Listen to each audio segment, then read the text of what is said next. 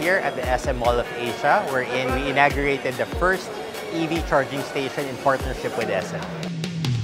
Hyundai Motor Philippines partnered with SM Mall of Asia, or SM in general, to provide additional support to our EV customers.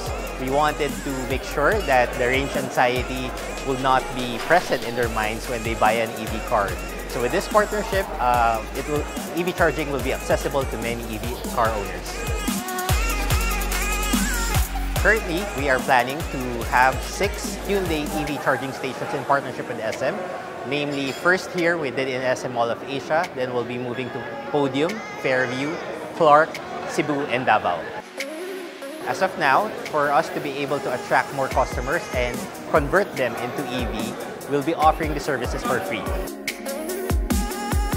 In support of our EV customers, Hyundai Motor Philippines will also be enhancing the ownership experience. So we are, will be launching a 24-hour uh, roadside assistance for our EV cars. We'll also be activating an Ioniq 5 that is capable of vehicle-to-vehicle -vehicle charging, which means we'll be able to uh, provide charging on the road whenever you need assistance in terms of charging.